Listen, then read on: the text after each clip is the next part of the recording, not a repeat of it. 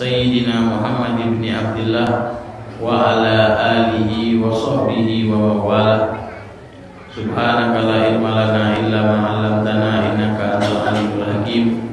Rabbi israh sadri wa yassir li amri wa hlul 'uqdatam min lisani yafqahu qawli. Wahdi qalbi wa saddid lisani bi jahi sayyidina Muhammad sallallahu alaihi wasallam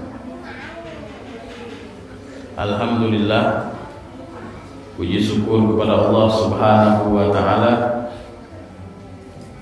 Di malam hari ini Allah subhanahu wa ta'ala Pertemukan kita kembali Di dalam majelis bulanan. Tidak terasa Sudah satu bulan kemarin Kita bertemu Dan di malam hari ini kita ditemukan lagi oleh Allah Subhanahu wa taala di dalam majelis ta'lim, majelis maulid, majelis zikir, majelis yang mengingatkan diri kita kepada Allah Subhanahu wa taala. Alangkah beruntungnya kita yang selalu diingatkan oleh Allah Subhanahu wa taala. Alangkah ruginya manusia yang dijauhkan oleh Allah Subhanahu wa taala untuk mengingat kepada Allah Subhanahu wa taala berapa banyak orang yang berat untuk mengingat kepada Allah Subhanahu wa taala. Berapa banyak orang yang duduk di majelis taklim ya seakan-akan tidak ada sama sekali ya, keberatan di dalam lidahnya untuk menyebut nama Allah Subhanahu wa taala berapa banyak orang yang sudah merasakan beratnya menyebut nama Allah. Ya seakan-akan lidahnya itu ada batu yang besar. Tidak sanggup untuk menyebut nama Allah Subhanahu wa taala. Sebab apa? Karena dia merasa dirinya kotor. Sebab apa? Karena dia merasa dirinya bersalah. Banyak daripada sebab-sebab tersebut dia merasa dirinya tidak pantas untuk menyebut nama Allah Subhanahu wa taala. Nauzubillah kalau orang yang sudah merasa dirinya begitu ya orang tersebut dijauhkan oleh Allah Subhanahu wa taala dari kasih sayangnya. Alhamdulillah nikmat ya diberikan oleh Allah Subhanahu wa taala karunia hidayah pintu dibukakan oleh Allah Subhanahu wa taala.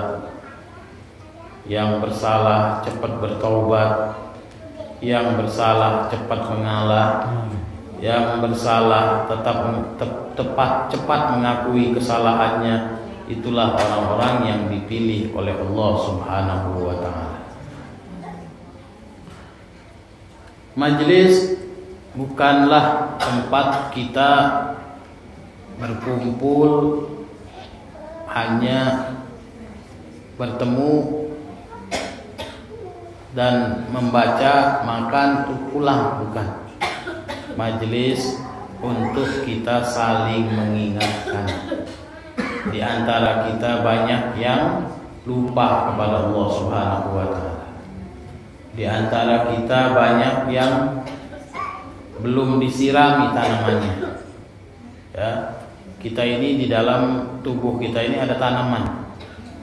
Tanaman ini ya menculang langsung ke atas langit. Jadi kalau disiram dia terus naik ke atas langit. Ya, diibaratkan begitu di dalam Al-Qur'an. Ya, ibaratkan kalau dia disiram, dipupuk ya terus naik ya naik sampai ke lah naik sampai ke langit dan tidak ada batasannya terus dia naik tapi kalau tidak disiram dialah layu. Tidak disiram dia mah mati. Ya apalagi kena hama. Hamanya apa? Ya hamanya kesombongan. Hamanya ya cepat mah cepat marah. Ya sedikit sedikit marah. Sedikit-sedikit ya tidak dihargai. Ini orang kalau sudah punya sifat begitu, ya susah. Ya, kita ini diciptakan oleh Allah Subhanahu Wa Taala tujuannya untuk apa? Ibadah, ibadah. Semuanya untuk ibadah. Ya, yang kerja ibadah, yang sholat ibadah, ibadah, yang puasa ibadah, yang bantu-bantu ibadah ibadah. Semuanya untuk ibadah. Kalau kita mau pasang egonya kita kalau kita mau pasang ya kesombongan kita ya enggak bukan ibadah namanya. Ya ibadah itu dicampuri riak sedikit aja hancur. Dihancurin kesombongan sedikit aja hancur ibadah itu. Jadi kalau mau ibadah ya harus bersih tidak bisa dikotor, tidak bisa dikotori, tidak bisa dicampuri. Ya. Semuanya ya, di dalam memberi nafkah ibadah. Ya.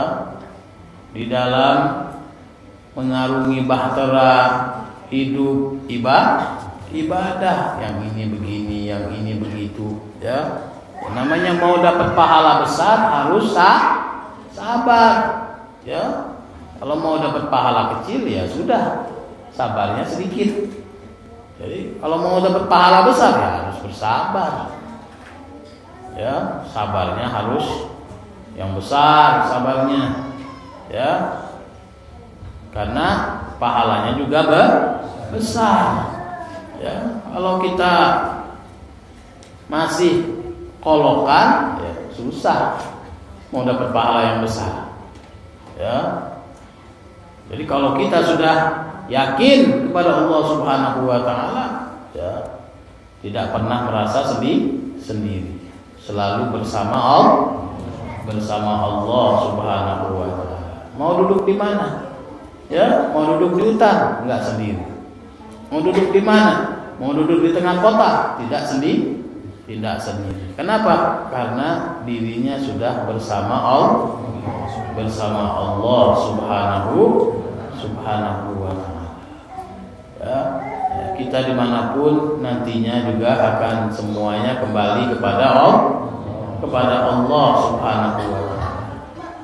Cepat lambat kita semua akan kembali kepada Allah Subhanahu wa taala. Kembali kepada Allahnya bagaimana? Ini yang harus kita tanyakan. Ya, kembali kepada Allahnya yang bagaimana? Yang lagi benci kepada seseorang kembali kepada Allahnya yang lagi memutuskan tali silaturahim kembali kepada Allahnya yang lagi bermusuhan ya naudzubillah. Orang yang meninggal seperti ini meninggalnya dalam keadaan suul khatimah mari kita mengikuti mentauladani Nabi kita Muhammad sallallahu alaihi wasallam. Sebaik-baiknya makhluk seabdol-abdolnya makhluk yang diciptakan oleh Allah Subhanahu wa taala. Allah turunkan wahyunya kuzil afwa wa'mur bil urfi wa a'rid anil jahilin. Allah perintahkan Nabi Muhammad SAW uzil afwa. Yaitu apa? Ambillah ya peganglah selalu menjadi orang yang pemaaf pemaaf ya. Jadi orang yang marah yang marah kepada kita kita yang dahulu memaafkannya itu maknanya uzil afwa ya orang yang benci kepada kita kita dahulu yang menyayanginya. Orang ini kalau melihat kita buang muka, kita dulu yang datang sama dia untuk memberimu memberi muka. Itu maknanya uzil afwa. Wa amur bil urfi ya mengajak kebaik kebaikan. Ya, jadi kalau misalnya dia tidak mau memberi, kita yang memberi. Kalau misalnya dia tidak mau memaafkan, kita yang memaafkan dahulu. Itu maknanya. Wa a'rid anil jahili yaitu berpaling daripada orang-orang bodoh. Antuhti man harama wa ta'fu man zolama. Ya, antuhti man harama memberi kepada orang yang tidak mau memberi kepadamu. Memaafkan kepada orang yang menzolimi. Ya. Uh, wa'arid anil jahilin yaitu berpaling daripada orang yang bohong orang yang tidak ada dirinya kita tinggalkan saat